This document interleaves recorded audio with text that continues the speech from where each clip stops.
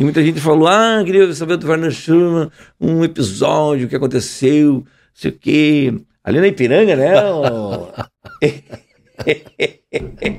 Como é que foi essa Ah, história, Che? história- Deixei pro final, que é pra segurar a audiência. aí. É a história Como da é que, eu Ipiranga. vou deixar que tu conta. É a história do arroio dilúvio. Primeiro, eu estava. nadar eu lá, né, te, quando- putz, nem me fala. Mas eu tava, eu tava indo. A minha filha estava em Ivoti naquele, naquele ano. E eu queria dar uma, fazer uma surpresa, tomar um café da manhã com ela. Era, era, quando eu caí ali dentro, era 15 para 7 da manhã. Para ir da minha casa na Assunção para Ivoti, não pega a Ipiranga. Eu peguei no sono antes disso. E peguei a Ipiranga, fui, fui, fui, andei quase 8 quilômetros na Ipiranga dormindo. Assim, pescando. Não sei, porque eu não me lembro da Ipiranga. Eu, me, eu acordei dentro do, dentro do, do arroio. Mas vem cá, tu tava centro-bairro, tu tava do, Centro vindo da. Zona Sul. É. Porque ali, ali cruza a Ipiranga e continua para sair da cidade para ir para Ivoti. Não tem nada de pegar a Ipiranga para ir para Ivoti. Ali na Ipiranga tu entrou direito. Entende? Eu não me lembro disso. Não Mas me vem lembro. cá, Chi, tu tinha que... Eu que tava, café eu tava fazendo. não, eu ia tomar. Era 15 para 7, cara, não tinha tomado nada. Tava vindo... Aí da- o mais engraçado desse negócio de tomar, É. porque o meu, meu irmão ouviu na rádio, porque a, o, bom, a história é, enorme, porque é muito legal. O Mauro Saraiva Júnior, na época, fazia aquele negócio de trânsito de Sim. um helicóptero que levantava ali na- no Parque Osório, ali do, do- não, no Parque Bento Gonçalves, ali do- dos cavalos, Hum. ali da cavalaria da, da brigada. Ele levantou e eles viram os Na faróis. Bento, lá na Bento, lá no É. fundo da Bento. E aí, ali perto que eu estava, eles viram os faróis do carro e ele desceu, já tinha gente descido de um prédio ali, e eu estava lá embaixo. E lá embaixo tava, depois que abriu o airbag, sai aquela fumacinha e as pessoas achavam que ia explodir. Eu disse, "Não, isso aqui, eu gritei de lá, isso aqui é o motor diesel, isso não explode. Não, porque não sei o que. Aí veio um morador de rua, Pai, tu caiu dentro, tu te acordou dentro, né? cravei, acordei com água aqui assim, ó. embicado dentro Bicado. Só que o motor Com não água para por de aqui. funcionar e o farol não apaga, né? do... Uhum. E saí, um morador de rua que estava debaixo da ponte ali do lado me ajudou a sair. Eu subi Pela janela ou abriu a porta? pela janela. Não, não, não, não abri, a- porque ele, ele ficou assim, ó. Ah, uma porta assim. ficou solta pra Ah, cima. Solta não, mas eu consegui abrir, a gente tava tudo dentro da água. Eu saí, aí quando eu cheguei lá em cima, o Mauro tava chegando correndo. Quando ele viu quem era, ele disse: Ah, não- tem problema nenhum, tal, a gente te leva, tô com o helicóptero aqui, vamos pro HPS e tal. Eu disse, cara, não tem nada, nada, tô ótimo. O airbag funcionou, me salvou. Então me dá uma exclusiva. Aí eu disse, tá bom, vou dar uma exclusiva. E aí ele contou 15 para 7 da manhã na Rádio Gaúcha e fez uma entrevista ao vivo comigo. Bom, cara, ó, encheu de repórter, encheu, era luz, luz, luz. E as pessoas desciam do, do- do- dos prédios e paravam os carros e tal para fazer foto comigo. E eu cheio de cocô. cheio de cocô, cara. E aí chegaram, meu irmão ouviu e veio também. Aí quando meu irmão chegou, estacionou lá longe, foi caminhando, encostou no cara da brigada.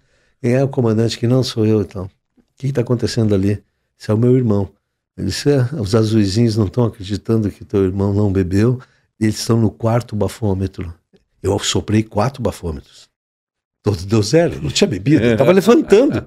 Mas é que era, era dia 11, dia 21 de junho, é bem escuro às sete da manhã. Então parecia, e as pessoas todas acham que eu vim da noite. Eu estava na. Né? Eu tinha chegado no dia anterior do Rio de Janeiro, onde eu estava fazendo Passione, aquela novela, cansado pra cacete. De noite eu tomei uma taça de vinho e fui dormir. E dormi, acordei, despertador, pá, peguei o carro e saí de casa. Seis horas de sono, não, não tinha nada Não. no, no- do, do vinho no bafômetro. Não, não tinha nada. No bafômetro deu zero. Com a- Eles achavam que o problema era no bafômetro. Eles ficavam trocando de bafômetro. Aí liberaram, né? Senão tá, então pode ir embora. Aí o meu irmão me pegou, me levou pra casa, me deu um sedativo e eu dormi um dia inteiro depois. Virou meme, né?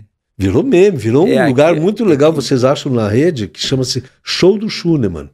Que tem um rap feito com E isso foi um entrevistas, e sucesso. foi uma matéria, Chega de o carro Jornal sem Nacional não deu o matéria. É uma matéria grande da Fátima, ainda na época da Fátima e do William, do Bonner.